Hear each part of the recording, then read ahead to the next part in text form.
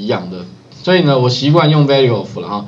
然后呢，把这个地方读进来之后的话，也就是说这个数字我把它 scan 进来之后的话，就会放到这个 size 里面。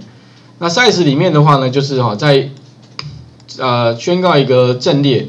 那 new 的 size 这个 size 部分呢，基本上就是由使用者输入的值来决定。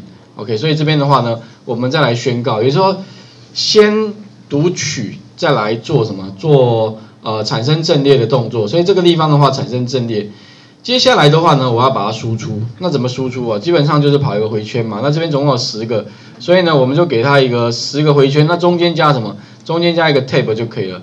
好，所以这个地方的话，中间加一个 tab。那 tab 部分的话，我们就是跑回圈，for i 等于零到多少呢？当这个值小于哈，啊特别需要，这个条件恐怕方向要看清楚啊。刚刚有同学有方向搞混了。啊，条件因为减减，哎，它一直就是可能用加加的情况比较多了啊，所以方向错了，结果就没有输出结果。OK，那当小于啊这个 size 的时候呢，我们就是做底下的动作，就是用什么呢？这地方，其实的话你会发现，我如果一到九九九，基本上就是什么 random 对吗？max 点 random 乘上九九九，那最后出来的话会是最大值。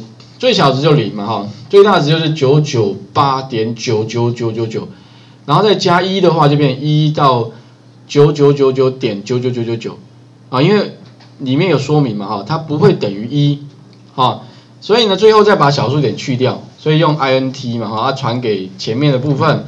再来的话呢，我们如果要排序，特别注意啊，其实如果要排序的话，在阵列里面排序哈，还好那个 Java 有提供一个。一个什么呢？一个类别，这个类别叫 arrays，arrays 非常好用。也就是说，你这个 arrays 的类别，哈，我们直接怎么样呢？arrays 点 sort 这个方法，直接把我们的阵列放进去，它就自动帮我们排序，而且是由小到大排序。那当然，你由小到大排序的话呢，你就可以排完序之后的话，再把它输出，这样的话就可以看到结果。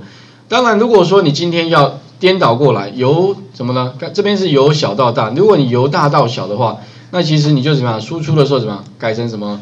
改成减减就好了嘛，就反向输出，不就？反正先排序完之后，你要看怎么输出，其实都可以啊。所以这边的话呢，哈是呃几个重点，就是说哈，输入用 scanner。第二个的话呢，输出几个再来排序。那不过如果说今天哈，哎，题目假设会有要求，就是说，哎。要也是一样哈，不要有重复的值的话，那也是一样，你要把什么第一题的部分有没有里面的那个先度先判断，所以要产生一个变数是 boolean，那判判断说里面值有没有改变，所以你这地方哈，如果这个部分完成之后，可以想想看，哎有没有办法把这一题稍微改写，产生什么呢？产生没有重复的乱数。OK 好，这里的话画面再还给各位一下，试试看哦。